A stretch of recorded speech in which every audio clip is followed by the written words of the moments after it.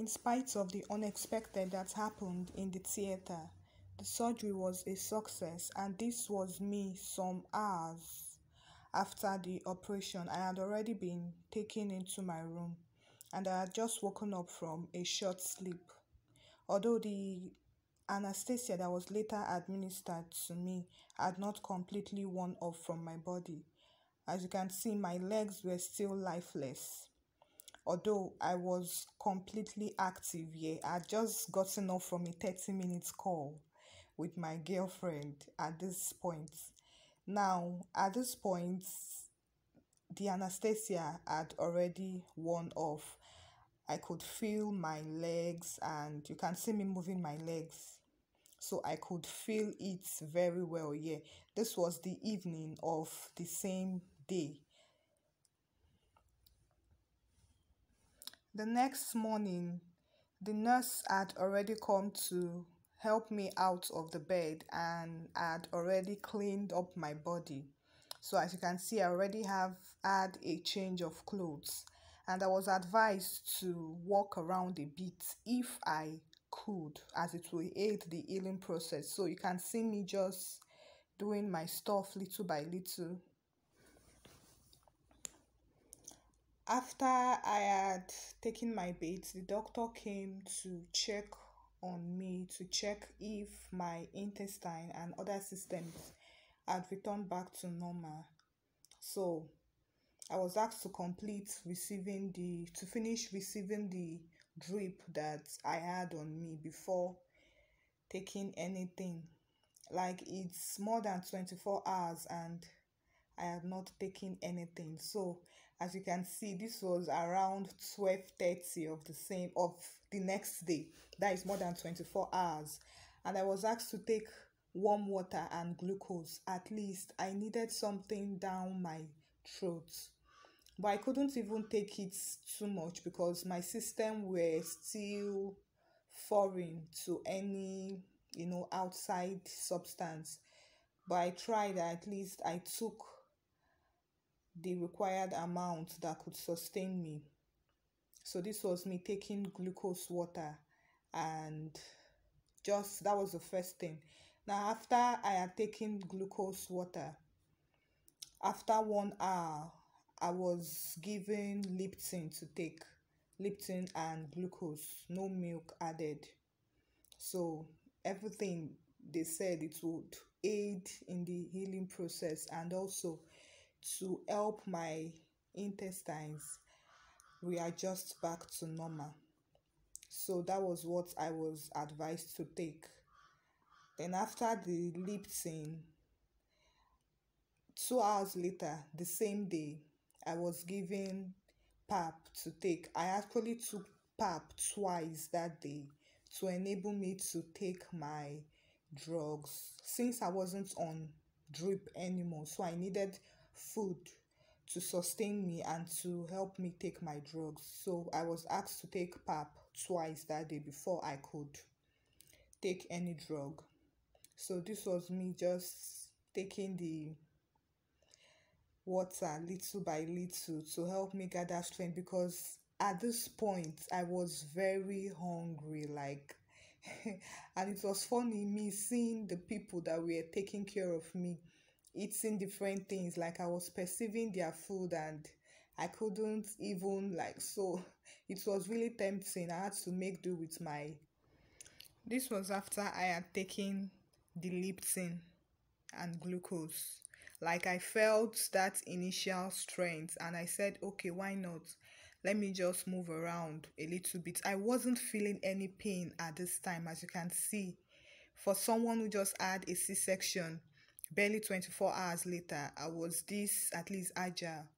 I didn't know what to expect because not up to 30 minutes after this, after this little exercise I did, oh my god, I started to have serious cramps, serious contractions, like my back, my waist, they were on fire.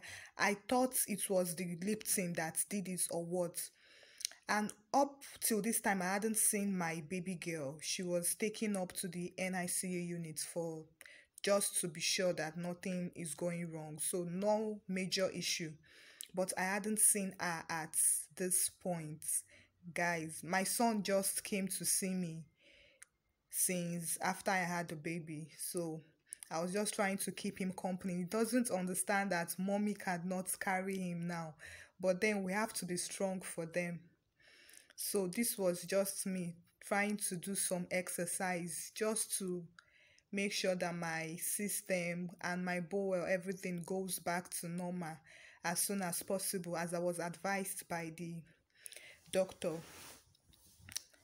So although I don't know if because I had not seen my baby, it also contributed to the pain. But I just had to, you know. Now. oh, bakwa, oh, baby, oh, bakwa. I'm videoing you so your mommy will see you. You're beautiful. Many who come on me. This is the second day of my CF.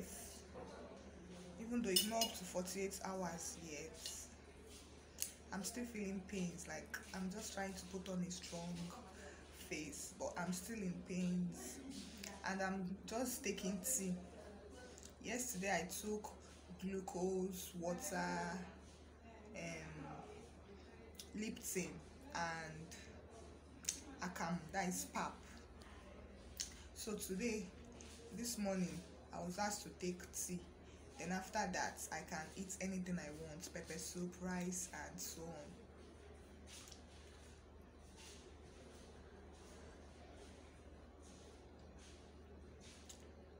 I've not even seen my baby yet.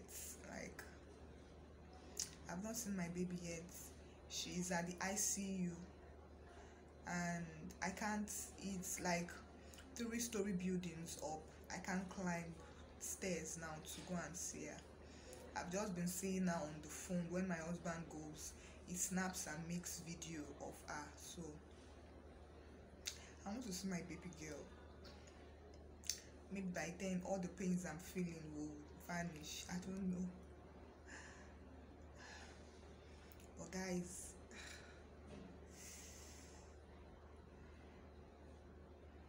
I'm having bad contractions. Like, I didn't experience any contraction when I delivered my first son.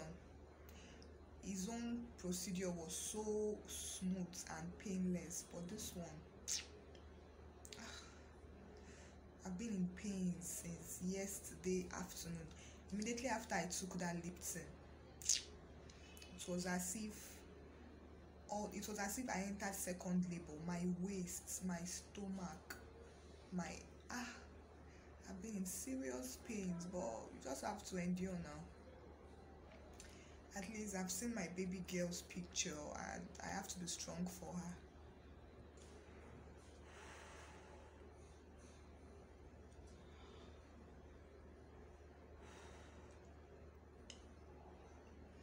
hopefully I'll get to see her very soon very soon because I won't be able to climb the stairs so I I pray they bring her down very soon so I can see her and carry her. Like almost 48 hours and I've not carried my baby. It's well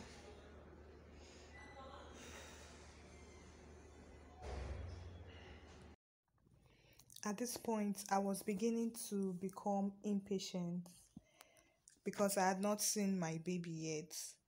When the doctor and the nurses came to check up on me that morning, I asked if I could climb the stairs to go see my baby and I was allowed. I was told I was told that if my body would permit me that I could try going but I should take it little by little but if my body does not permit me, I should go back as she would be discharged very soon. So when my husband came that morning, I told him like that, please, I can't wait again. I need to see my baby because I was becoming so impatient. I wasn't happy at this point. So he waited for me to finish eating and we decided to take it little by little. Now, this is me going to climb a three story building, which means we have um six sets of steps to climb.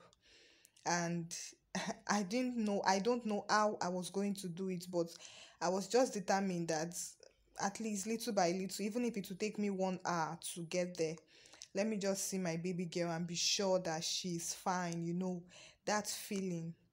So I had to gather strength, you know, gather the momentum to climb up the stairs and I didn't know how it would turn out. I was so optimistic that okay, since my body at this point my body was physically strong, even the doctors were complimenting me that I'm doing good, I'm doing well. So I thought I I would be able to do it, but let's see how it goes. If I was able to climb the stairs or not. Although if I would be honest, I must say that her not being with us in the room like it actually gave me that strength that time i mean to rest you know and recover for that for the first 48 hours. Because if she was here with me i know i cry and all those stuff i would have been forced to always be, be feeding her and all those stuff and i feel it would have slowed down my um recovery process but still i wanted to be with my baby. So I set off and I couldn't go through the stairs, so I had to go through this slopey area since it would require me just dragging my feet up. And I had just climbed only two sets out of the whole six. And oh my god i became exhausted. Exhausted sorry. I couldn't even breathe. I couldn't move. And i was asked to wait. So my husband had to go get someone to come wheel me for the remaining part of the stairs. And that was how i got to see my baby. So i was wheeled up and down Mm-hmm. this is not something that is advisable for anyone because no matter the strength you feel you have, you can't climb stairs and it's not even advisable. But I thank God I was able to see my baby that morning and at least I breastfed her and I was satisfied and happy.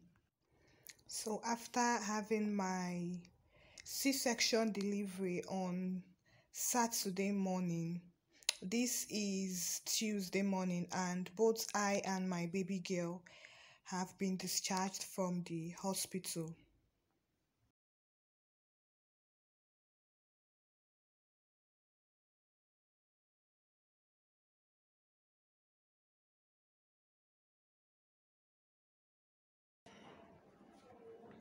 So baby girl is finally down and we have been discharged. This is the third day we have been discharged. She has also been discharged from the NICU. So she's sleeping.